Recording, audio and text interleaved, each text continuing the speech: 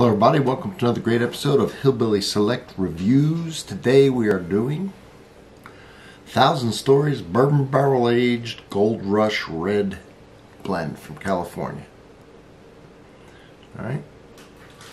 It is 15% ABV. Nice. This is, uh, like I said, 2014, so it's six years old. I've had it for several years, um, cellared in the basement. Um, and before I get started, if you don't mind, just hit the subscribe button for me. And know that if you're new here, I review everything that has anything to do with alcohol. And I even throw in my famous coffee reviews on Sunday. Anyway, I've gotten into this a little bit. You can see, put it in a different stopper. Excuse me, when I first did it, tasted it, it's very sour. I thought, man, it's almost like it went bad. And I thought, how did it go bad? I've stored it perfectly it's got a high ABV, which helps. The acid was very high on it. I was surprised. I let it sit in the glass for uh, a long time, and it really opened up and became nice sometimes. So it was nice. Um, today, what I'm going to do is I'm going to put in this uh, aerator, and now it's been open for a while, and that should really polish it up nice. Open it up. Just tell you a little bit about this wine because it's interesting. Um, so I looked it up and it says uh, A Thousand Stories, California. California's original bourbon barrel aged wine producer. Right, so I guess they were the first ones to do it in California. Announces the nationwide launch of its newest wine. Well, I guess the 214 was their newest, or uh, when they first came out with this blend. Um, this uh, Thousand Stories Bourbon Barrel blend. All right, it's a mix of Cabernet Sauvignon, Syrah, Petite Sirah, and Merlot. Very interesting.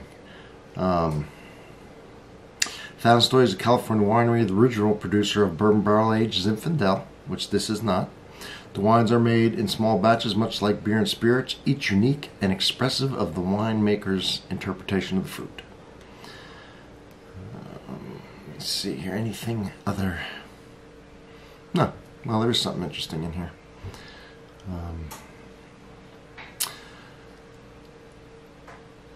it says, I don't want to read you anything boring, but um, he begins aging process in traditional French and American oak, French and American oak wine barrels, and then transition the lots to bourbon barrels. That's all we need to know. So, interesting.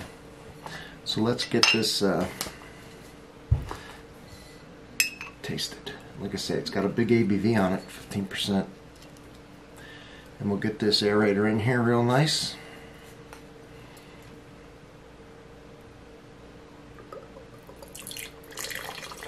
Look at that. Look at the bubbles. You see the bubbles? That's good. It's getting me some good air. Yeah, look at that. Look at that. That's good. Alright.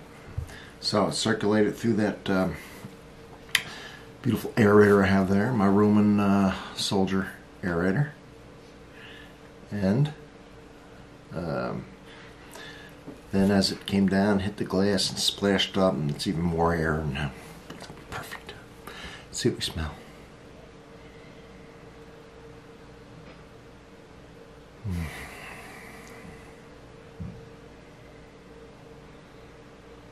The great smell of red juicy apples, um, possibly blackberries, cherries, just a lot of nice ripe fruit, a little bit of raisin smell.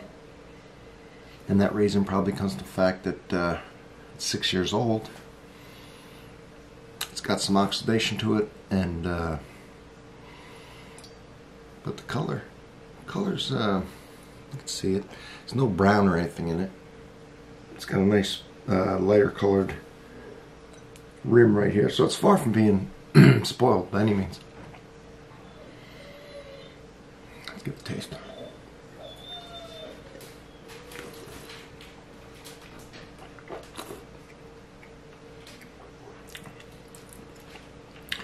Cut the oak, medium to light tannin, medium to medium plus acidity.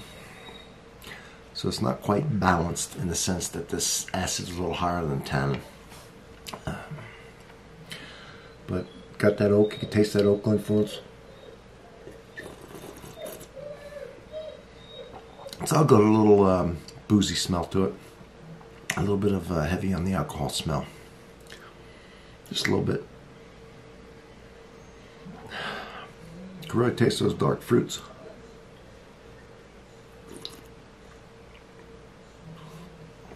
And the raisin. The fruits aren't bright though, they're more like dried fruits. Um, very tasty. Uh, I like it. I like it at age like this where it knocked off the freshness and just kind of matured it up a little bit. Oh, can I taste? I can't taste bourbon, but it adds kind of um, mm, almost a. That it adds a depth to it. So I was going to say a, a, a, thickness to the wine, a, a, depth. You can tell that it's got that flavor in there, but you, you just can't pick out that it's bourbon. But something different, something added, just adds to the complexity.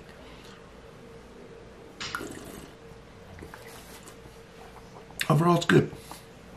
It's good. It's a nice blend. I like that they did it French American oak and then did it in bourbon barrels. And uh, now it is six years old and just about perfect now. So from Hillbilly Select Reviews, they apparently they do a uh, Zinfandel.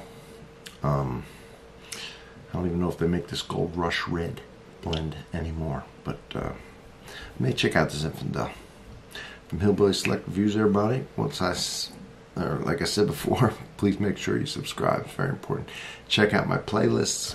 I have so, so many. Everything broken down, so easy to find, real nice. And on that note, I will see you on the next one.